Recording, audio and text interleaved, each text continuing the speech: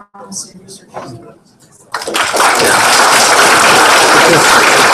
you keep the audience interested? That's good.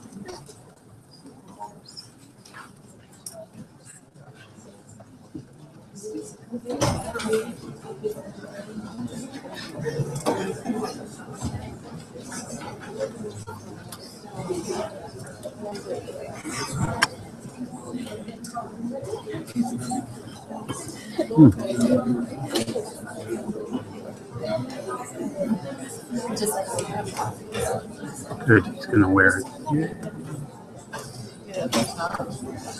Well, He forgot to wear it last.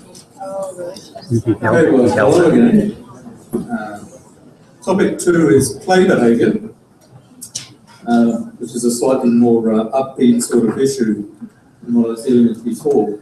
Um, Those of you who've been in the field of animal welfare uh, for a while have known that traditionally we focus very much on trying to identify threats to welfare and to minimise the risk to welfare of animals, which is essentially a harm reduction process.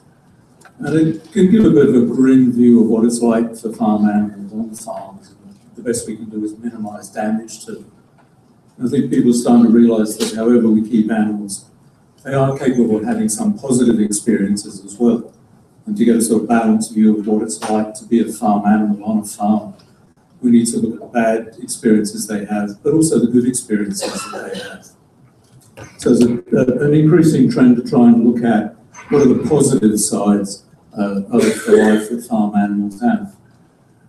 It's also true when people are starting to consider the emotions of farm animals. This is a, a scheme that Mike Mendl came up with for classifying uh, the possible emotions that, that animals experience. So he's classified them according to the degree of arousal, whether it's low or high, and also whether it's a negative emotion or a positive emotion.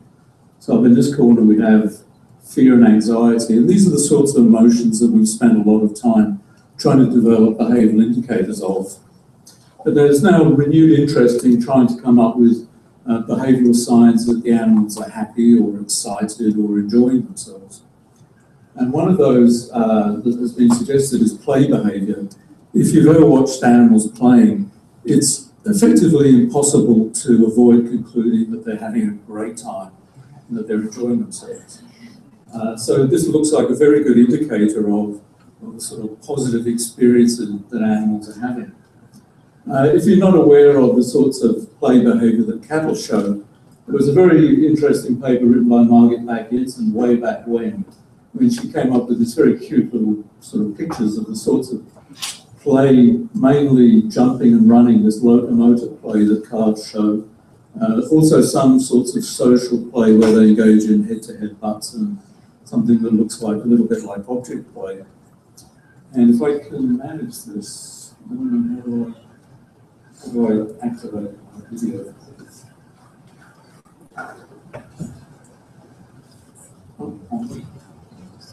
This is a video I picked up from uh, Compassion for the Fun. These are adult cows.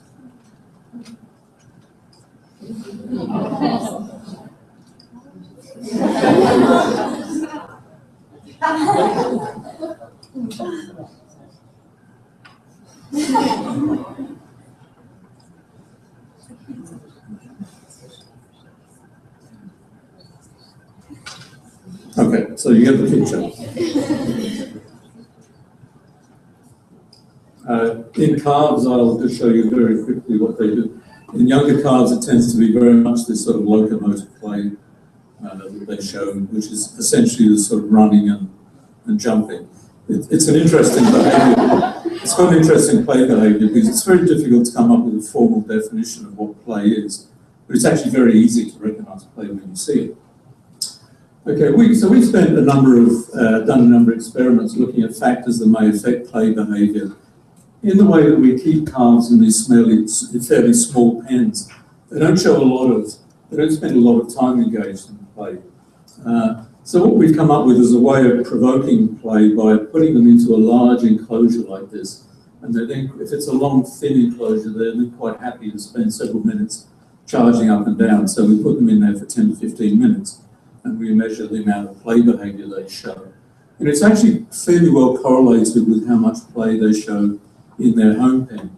Okay, the bottom line is the, the average running duration in the home pen, and this is how much they show in the, the arena, and that's at each individual calf. And you can see that there's a, a reasonable correlation between the amount of play they show in the arena and in their home pen. When I talk about this, I'm going to switch between running and jumping, uh, which are the two main behaviours. Again, these are fairly strongly correlated. There's a correlation of about 0.91 between the amount of running show and the amount of jumping. Okay, so what's the evidence that uh, play behaviour is a sign of good welfare or is reduced by bad welfare? So one of the first things we looked at is the effect of um, milk allowance uh, and, and weaning, uh, improved weaning, because both a low milk allowance and weaning too early are known to reduce the, the welfare of cattle. This is a, an experiment we've done, and this actually shows digestible energy intake of three groups of calves. So these calves we were feeding six litres of milk, uh, and these ones we were feeding 12 litres of milk. And you can see that here, the energy content of the ones feeding 12 litres is quite a bit higher than those uh, drinking six. As they got older and began to eat more solid food, the difference in energy intake uh, was reduced somewhat. When these calves were weaned at seven weeks, you can see there was quite a drop in energy intake uh, at the time of weaning, which recovered. And when these calves were weaned at 13 weeks, the drop in energy intake uh, was slight, was a, a quite a degree lower than the dropping in energy intake that occurred there. I showed that slide because when we then looked at the mean duration of running behaviour of these calves, you can see a very, very similar pattern uh, to what was shown with their energy intake. Okay, the higher fed calves were showing more. Uh, they came together as their energy intakes became similar. When they were weaned, these calves' play behaviour dropped quite dramatically, recovered, and there was a smaller drop among the later weaned calves. So the, the, the play behaviour and the energy intake seemed to go pretty well together. We then looked at individual animals within treatments to see if we could find any relationship between their play and their growth rates. Uh, and we found some interesting correlations before weaning, during weaning, and after weaning. You can see that before weaning, uh, the, the amount of uh, running that they did was positively correlated with both energy intake and the, and the daily weight. Um, we seem to lose that during weaning, but after weaning, it was more or less restored. That the amount of play was actually a sign of an animal which was, uh, had good energy intake and was growing fairly well. Okay, other, what are the other sorts of welfare threats that, that may have an impact on the play? One of them that's been looked at has been uh, dehorning. Uh, as you heard from this morning, there's a lot of interest in finding ways of reducing um, the pain associated with dehorning by using a variety of anaesthetics or analgesics. And to just give you some background, this is the, the sort of cortisol level that you find, which is a measure of stress when calves are dehorned. You can see that, when they're dehorned, there's a big increase in um, cortisol level. When you only give a local anaesthetic, it lasts as long as the anaesthetic is wearing, but then when it wears off, the cortisol level goes back, it goes up again. So really to eliminate the pain completely, you need to do a combination of local anaesthetic and non-steroidal analgesics.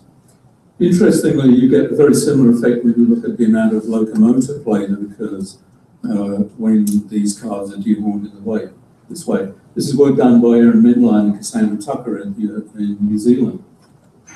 They had a fairly short-lasting uh, local anaesthetic, but you can see these are control calves uh, for three hours after the, these ones were dehorned. When the, the, the calves were dehorned, there was a big drop in the amount of play that they were showing. The local anaesthetic did not seem to uh, improve that play, but when the calves were treated with local anaesthetic and a non-steroidal, and that basically restored the amount of play that they showed. So again, the play and the cortisol seem to be going together pretty well, which is encouraging. Okay, we've been interested in trying to understand something about the emotional basis of play behaviour. And there are two ways that we've been looking at it.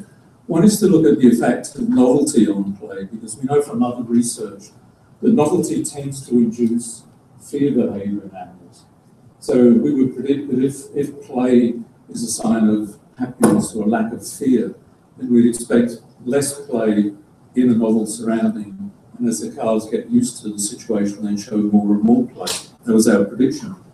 In actual fact, we found completely opposite.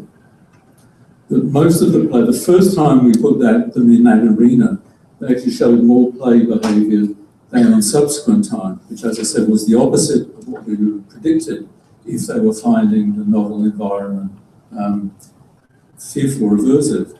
So what we hypothesised was it would depend very much on how the animals are reacting to the novelty.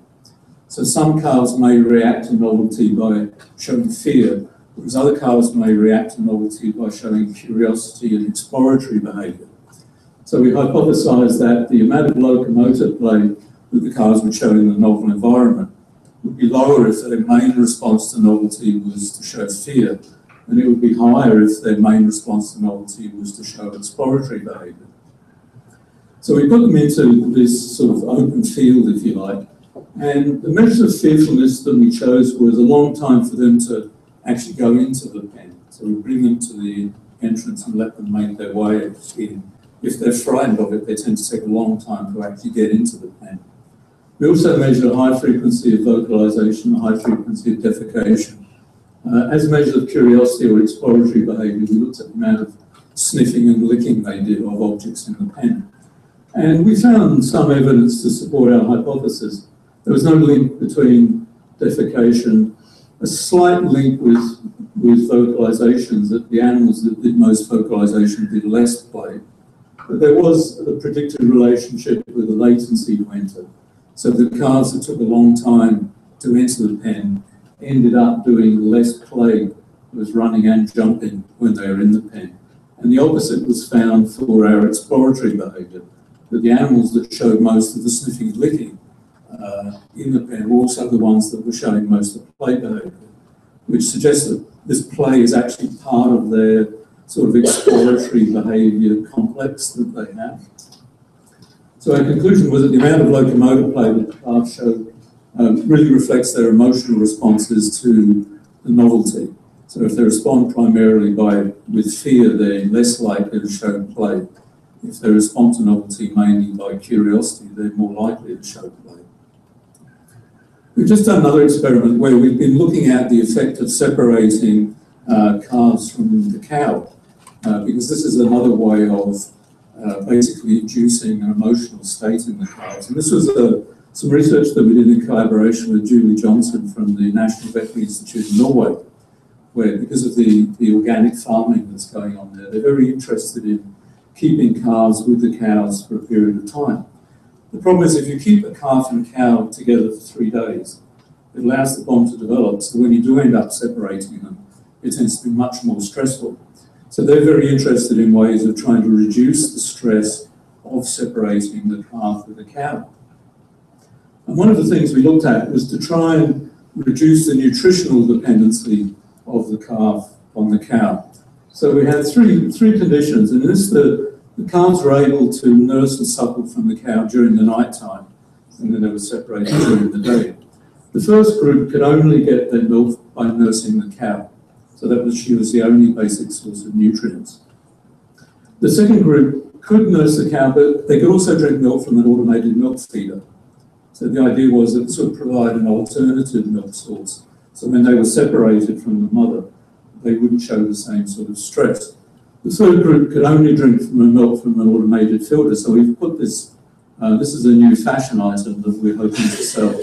Um, sort of lingerie for dairy cows. You have this little bra which covers the, the udder so the calf can't actually drink, even though they can still interact with the mother. And after six weeks, we separated the calves and the cows. And what we found, interestingly, if you read the paper, was that the, the weight gain of these two was in, sorry, the weight gain of B and C calves was actually higher during weaning than the A calves.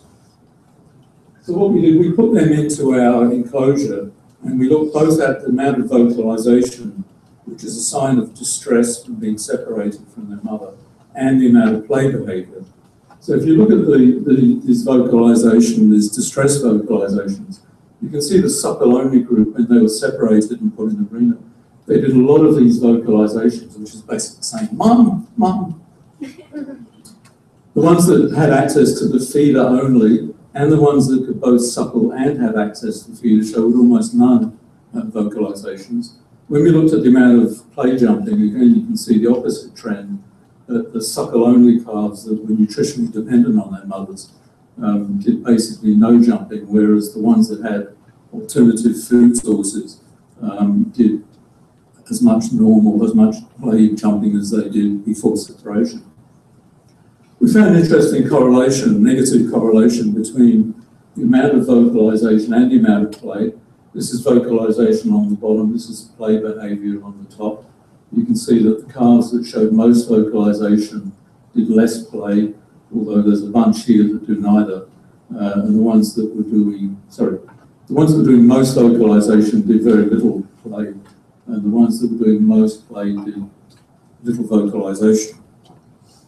We also found the same correlation we found previously with energy intake after separation, that if the energy was high, uh, then the calves were showing quite a lot of this running and jumping, whereas calves that had a low energy intake were doing very little of the, these, these behaviours.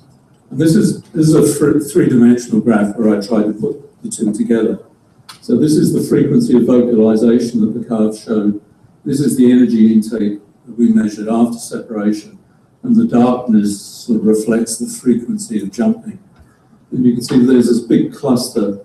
The, the largest frequency of jumping tended to occur among calves that had both a high energy intake and a low frequency of distress vocalization, which leads us to, you know, gives some support that this is related to the sort of emotional response of the calves to separation, as well as the, the nutritional in, impact. Um, do I have time? Yeah. Okay, very quickly, something we got interested in is whether we can automate measurement of locomotive play. One of the biggest holes in our budget is having to pay students either to watch video or sit there watching cows. We can buy these little accelerometers much cheaper than a student, much more reliable. Uh, so we put them onto the leg of the cow and the little hobos and you can see that it, they distinguish, this is the acceleration when a calf is walking and when it's running. And you can see that they distinguish fairly well between the amount of, between walking and running. We measure the number of times that acceleration reaches the maximum. And we found there's a, a very strong correlation between observed running and this, this acceleration measure that we have, it's 0.95. So it seems to be a very a reliable measure of the motive, of the amount running that they show. We look, we redid our experiments on weaning. Uh, this is this is um, calves. Sorry, this is the dehorning one. Uh, when the calves were dehorned, this is the, the observed running from the videos. You can see uh, on day five, control calves that we weren't dehorned. When they were dehorned, there was a drop in running behaviour when we looked at the acceleration measure, you can get the similar pattern. Uh, there's drop in summed acceleration um, for the cars that were dehorned. And we found a fairly strong correlation uh, between the change in the total acceleration uh, following dehorning and the change in the amount of running that is shown from the video. So we think this is actually quite a time efficient, cost efficient, and, and reliable way of measuring this behaviour in these sorts of situations. So with that, I'll end and say thank you very much.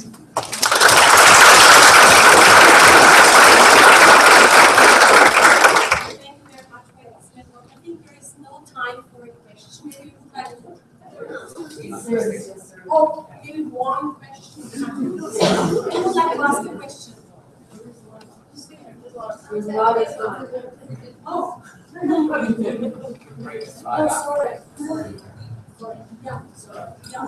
Any questions? Yes, please.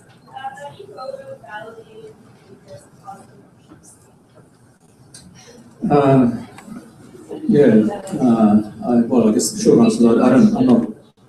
How, how, do, how, does, how does one go about validating behaviour as an indicator of a positive emotional state? Um, the honest answer is I'm not really sure. Um, but I think you need to do it through sort of triangulation. I don't think there's any one measure that would demonstrate that is a sign of a positive mental state. I think you need to come at it from different directions. So what we've done is tried to show that it's reduced when we do things that we think induce a negative emotional state.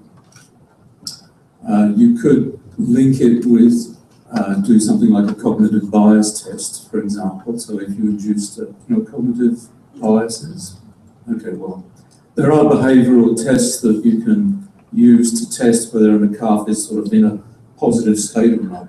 So other behavioural tests that would relate to show that that's related to play, play behaviour.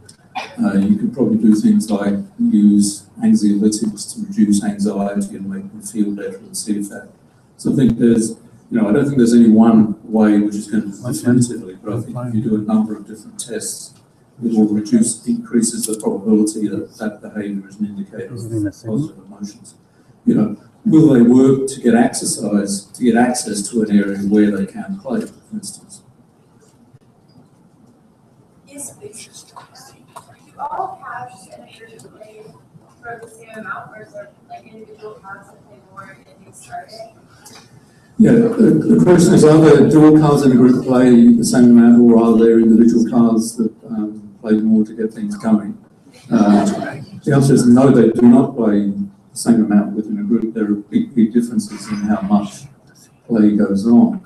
And there are some, there is this sort of emotional contagion, you can see it, that some cars start running and it gets the others going. It would be very interesting to look at what are the, what are, are there any sort of long-term differences of cars that play a lot versus those that don't play very much when they become calves. So, yeah, it's an interesting question. Yes, please. Even though uh, we, like, like you said, that there are, um, paths that sort of get things started, sort of thing. How do you think that would impact the fact that there is only a single path going into this empty space, having to go out and explore? Um, how would that affect your latency to enter into that space? Yeah, I, well, we haven't done the experiment, we haven't done the experiment, I'd love to do it. Um, what, what I would like to do if I ever get the time is to, you know, have a calf that runs a lot and a calf that doesn't run very much, and then have a standard calf and see, you know, if it's in with a calf that runs a lot, it also runs a lot, as opposed to if it's in a pen with a calf that doesn't run very much, does it not run as much, to sort of look at that social facilitation Yeah. that goes on, and then it's an obvious question, you know, can you, can you improve the emotional environment in a pen by making sure that there are happy calves in the pen that play along, and does it transmit it to the others? Yeah, neat idea. Teresa.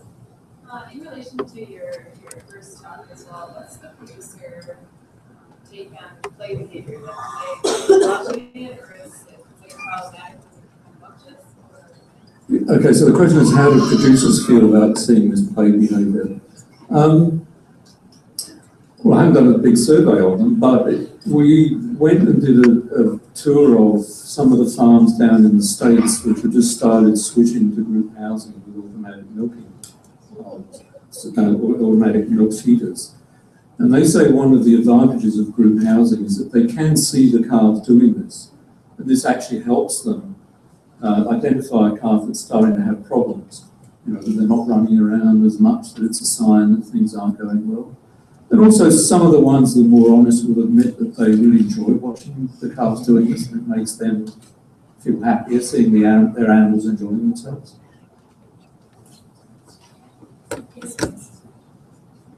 Um, so in regards to the study where you have the calves that suckle the mom, and then they had, or the cow, and then the cow, the automated feeder, and the automated feeder, was there differences in weight gains between the three groups in terms of intakes?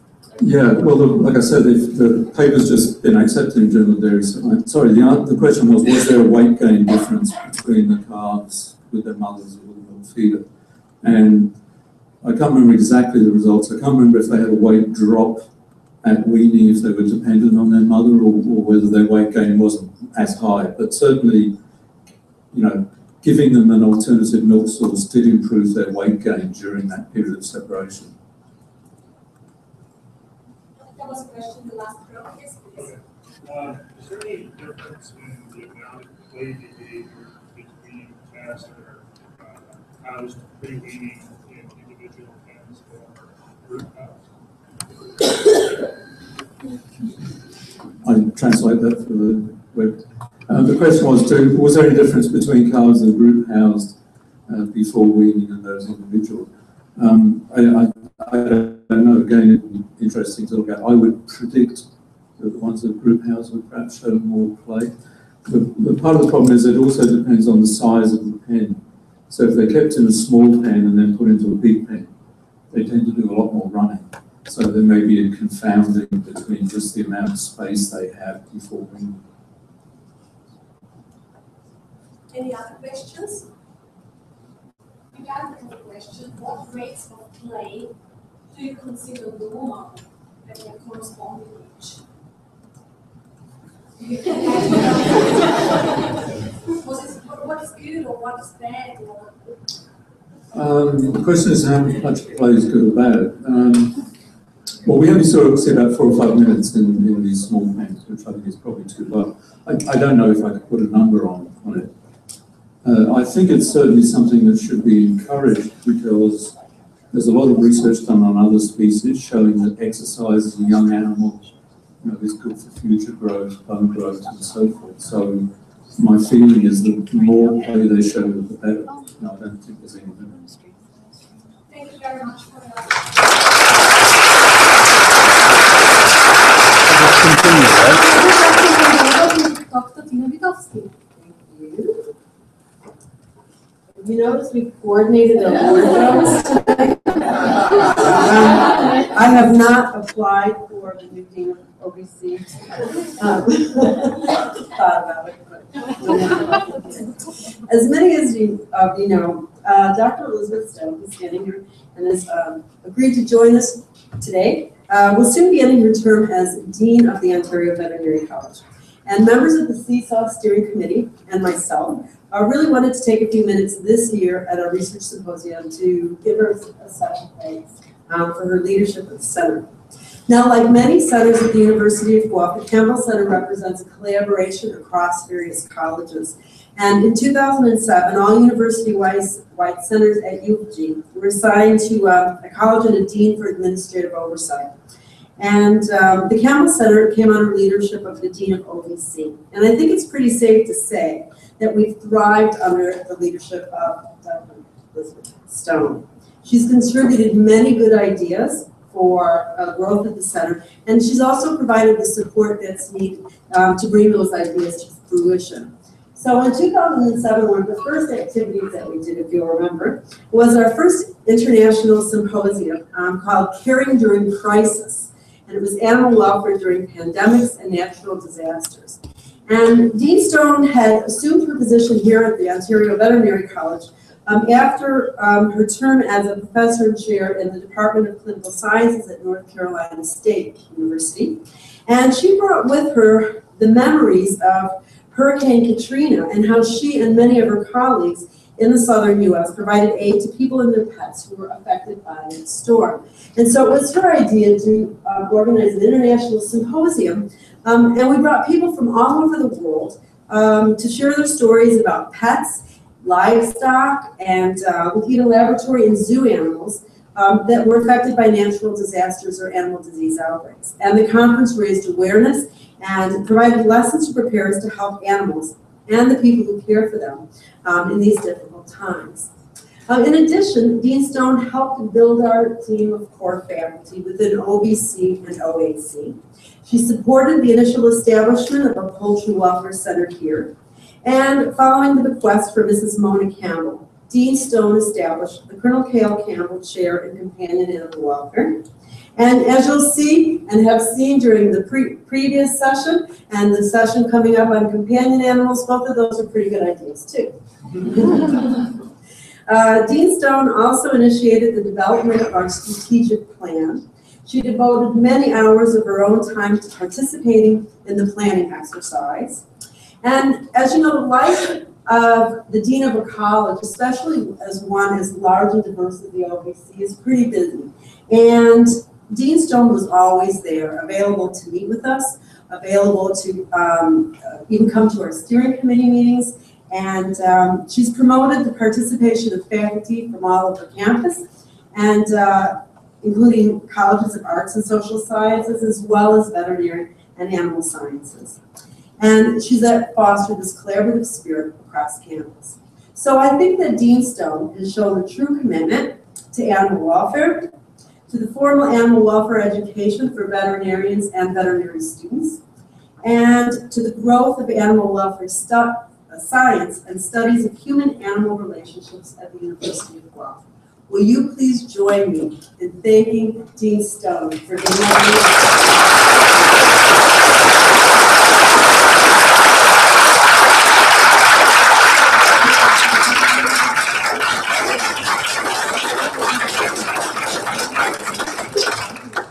Dean seldom get the last word, but I will say that I have greatly enjoyed with, enjoyed the group that's so interested in animal welfare at the University of Guelph. It was one of the highlights that attracted me to the university from the very beginning because of the emphasis on science of animal welfare and the close collaborations between animal welfare specialists and the commodity groups and industry and others in the general public, and the fact that things were actually being done that could make real change. And I really enjoyed working with Tina, and I'm not going to say that in the past tense, that we'll never see each other again. And also with the, with the steering committee, and there have been some new people that have been hired into a number of different uh, positions, and will continue to carry on the work that Ian Duncan started uh, years ago now, I can say. And I, I think that there's a very bright, bright future for the Campbell Center. Thank you.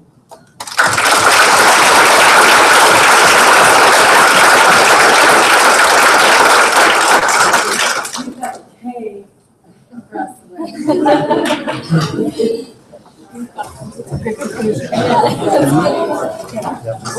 The poultry welfare